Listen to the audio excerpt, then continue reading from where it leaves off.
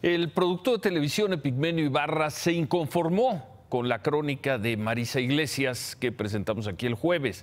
Fue la crónica sobre la ceremonia en que simbólicamente, simbólicamente se puso en marcha el programa en que empresas privadas van a recibir a jóvenes para capacitarlos durante un año.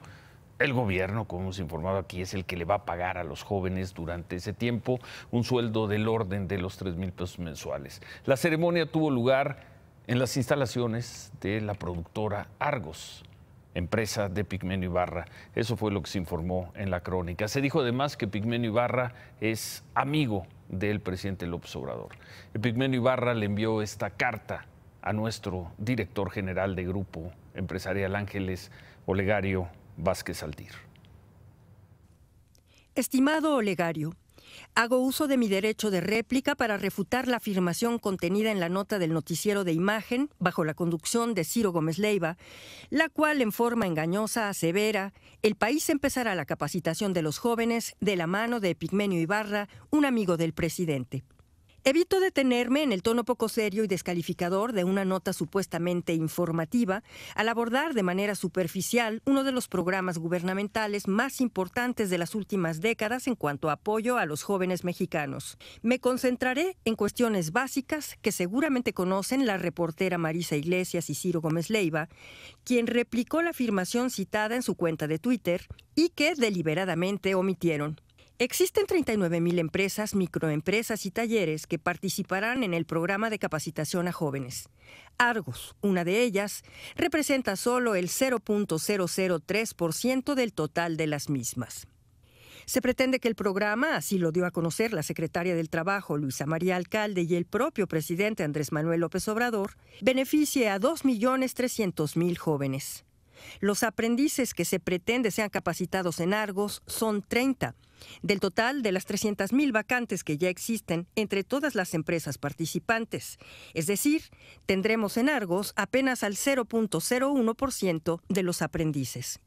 Es importante precisar también que este programa no entrega ni un centavo a las empresas participantes.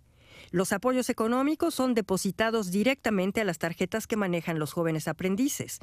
De hecho, las empresas aportan recursos al ofrecer lo necesario para la capacitación adecuada de los jóvenes y asignarles un tutor. No me ostento como amigo del presidente.